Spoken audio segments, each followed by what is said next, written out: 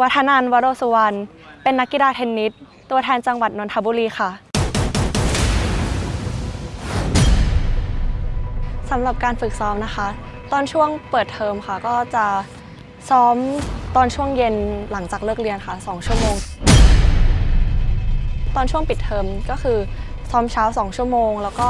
ทำฟิตเนสหรือว่าวิ่ง cardio ค่ะ แล้วก็ซ้อมตอนเย็นอีก 2 ชั่วโมง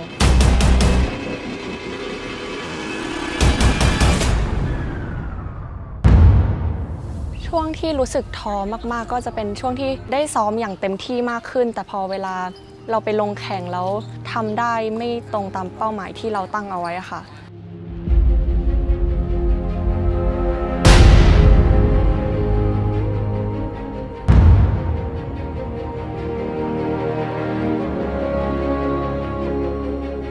พอเรานึกถึงเป้าหมายของเรา เราก็รู้สึกว่า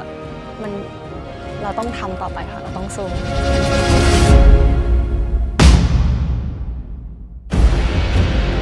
เป้าหมายของหนูนะคะคือ การที่หนูสามารถเอากีฬาเทนนิสเนี่ยยื่นโปรไฟล์ เพื่อสอบติดมหาวิทยาลัยที่หนูหวังเอาไว้อะค่ะ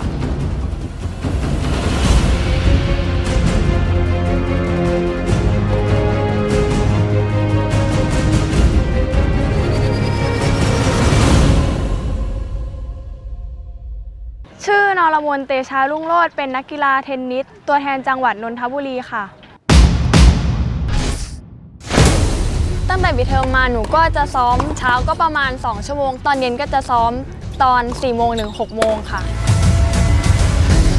แพรเป็นเด็กที่ไม่มี skill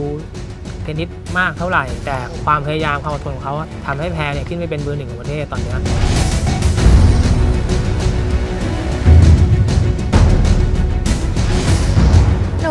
หนูก็พร้อมมาก จะทำให้เต็มที่ที่สุดค่ะ ถ้าได้ก็ถือว่าเป็นรางวัลที่ตัวเองได้พยายามมาอย่างเต็มที่ที่สุดแล้วค่ะ